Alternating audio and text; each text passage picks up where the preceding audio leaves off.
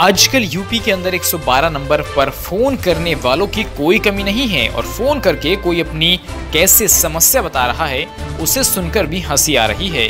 हमने पहले भी आपको कई ऐसे वीडियो दिखाए हैं जिनमें 112 नंबर पर फ़ोन किया जाता है और जब पुलिस पहुँचती है तो कहानी कुछ उल्टी ही मिलती है।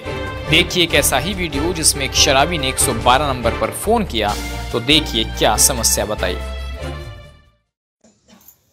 सौ नंबर फ़ोन किया? जी सर। कितनी बार फ़ोन किया? ऐसे करीबन दो तीन बार फ़ोन किया। तो क्या दिक्कत है? दिक्कत क्या हम शराब ज़्यादा पीते हैं इसलिए मुझे थाने में छोड़ दो चलकर तो थाने में क्या थाने जाओगे? हाँ जी सर। क्यों? अपराधी है ना अपराधी है। क्या अपराध किया है? अपराध कुछ नहीं कि बस मदिरा ही मदिरा का ही सेवन करते हैं। तो थाने में क्या मतलब है उसका फिर? अपने घर पे रहो ना फिर। सर चले जाएँगे वहाँ छूट जाएगी। दस बारह दिन रहेंगे। तो थाने में क्या शराब छूट जाएगी? हाँ जी वहाँ पीने को नहीं मिलेगी। अच्छा। और घर में किसी को दिक्कत है? नहीं कोई दिक्कत नहीं। अच्छा। तो थाने जाओगे? जी सर। थाने में शराब छूट जाएगी? हाँ जी वहाँ पीने को मिलेगी नहीं नहीं। अच्छा। हाँ जी वहाँ ऑफिसर लोग रहते हैं ऑफिसर। अच्छा। तो फ़ोन कितनी बार फ़ोन किया तुमने सौ नंबर पर? मैंने तीन बार कॉल की। तीन बार? जी।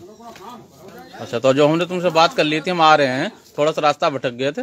कुछ चलो कोई बात नहीं सर। और दूर भी है दस बारह किलोमीटर? बारह किलो हाँ फुल बार। हाँ जी थोड़ा टाइम लगता है आने में। फिर दो तीन जब हमने कह दिया हम आ रहे हैं फिर तुमने दो तीन बार फ़ोन क्यों करिए? चलो सर गलती हो गई। अच्छा गलती हो गई सोनू। जी सर। अच्छा तो आप क्या चाहते हो? हम चाहते थाने में जाए आज।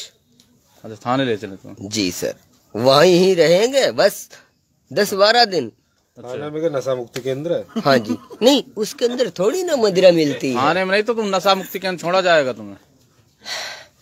नहीं, मिलेगी ही नहीं। अच्छा। चलो ठीक। है तो इस वीडियो को अगर आप फेसबुक पर देख रहे हैं तो हमारे फेसबुक पेज को लाइक करें और अगर आप यूट्यूब पर देख रहे हैं तो हमारे चैनल को सब्सक्राइब करना मत भूलिए। और हाँ देश और दुनिया की ऐसी ही अलग अलग खबरों के लिए आप जुड़े रहिए न्यूज़ टाइम्स 24 के साथ।